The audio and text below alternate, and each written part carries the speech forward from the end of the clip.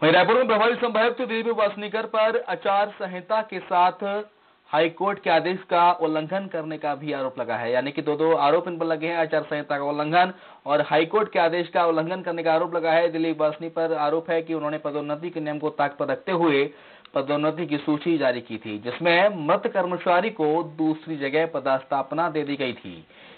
जिसके बाद प्रदेश कर्मचारी संघ ने पदोन्नति रद्द नहीं करने पर कोर्ट जाने की बात कही है। प्रदेश कर्मचारी संघ के महामंत्री विजय कुमार झा ने बताया है कि वासनीकर ने अपने चहेते को फ़ायदा पहुँचाने के लिए आदेश जारी किया था।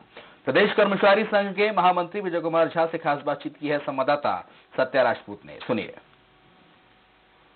नगरीय निकाय चुनाव आचार संहिता के दौरान छह लोगों का पदोन्नति किया गया है, जो नियम में ताक कर किया गया और उसमें से एक मृत कर्मचारी भी बताए जा रहे हैं, जिसके आवाज़ कर्मचारी संघ ने उठाया है। कर्मचारी संघ के महामंत्री इस वक्त हमारे साथ मौजूद हैं। उनसे जानते हैं, ये ट्रांसफ़र पदोन्नति लिस्ट निकाला गया है। क्या मामला था पूरे देखिए, विगत नौ माह से हाईकोर्ट में केस पेंडिंग है, पदोन्नति पर हाईकोर्ट ने रोक लगा रखा है।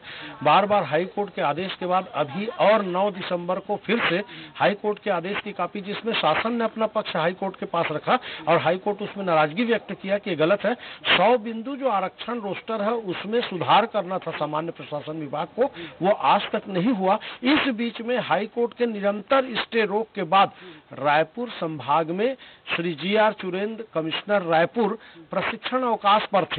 29 ग्यारह तक वो प्रशिक्षण अवकाश पर थे। उनके स्थान पर राज्य शासन ने दुर्ग कमिश्नर श्री दिलीप वासनीकर जी को प्रभारी कमिश्नर का प्रभार दिया।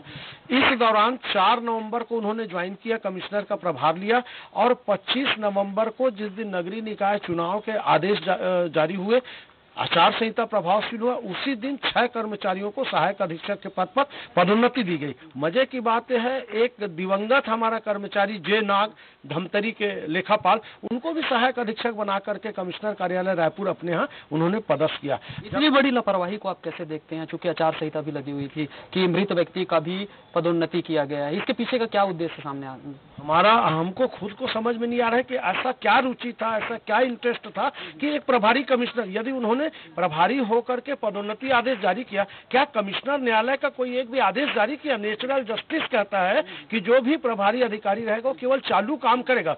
पॉलिसी मैटर पर कोई निर्णय नहीं ले सकता, कोई फैसला नहीं कर सकता, लेकिन वासनीकर साहब ने कैसे प्रमोशन दिया और उस प्रमोशन में कहीं नहीं लिखा है छह में से? कौन मेरे जानकारी में केवल एक जनरल है, बाकी पाँच हमारे आदिवासी भाइयों को प्रमोशन दिया गया। आचार संहिता का उल्लंघन का मामला है। आ, आ, जो राज्य निर्वाचन आयुक्त है उन आयोग है उनसे कोई शिकायत की है क्या राज्य निर्वाचन आयोग से शिकायत हमने नहीं किया है। इसलिए कि हमारे राज्य निर्वाचन आयुक्त तो जो है, उनके बराबर के कमिश्नर के पद के हैं, इतने बड़े जिम्मेदार अधिकारी, यदि स्वयं आचार संहिता का उल्लंघन करते हैं तो नीचे स्तर के कर्मचारी अधिकारियों से कैसे अपेक्षा की जा सकती है कि आचार संहिता का पालन किया जाए? और दस्तावेजी प्रमाण है, डॉक्यूमेंट्री प्रूफ है। तो अभी आपने प्रदेश कर्मचारी संघ के महामंत्री को सुना, जिन्होंने खुलासा किया है कि किस तरह प्रदेश में अधिकारी बेलगाम होते जा रहे हैं, उनके लिए हाईकोर्ट का हो चाहे शासन का आदेश हो, चाहे पदोन्नति का जो, सौ बिंदु का जो आदेश हो, उसका कोई मायने नहीं रखता है जिनको जहाँ चाहिए अपने व्यक्तिगत लोगों को, अपने चाहने वालों को पदोन्नति के लिए सारे नियम कानून को ताक में रखकर इस तरह का फैसला लिया जा रहा है। कैमरा मैन जग्गा के साथ सत्या राजपूत स्वराज एक्सप्रेस, रायपुर।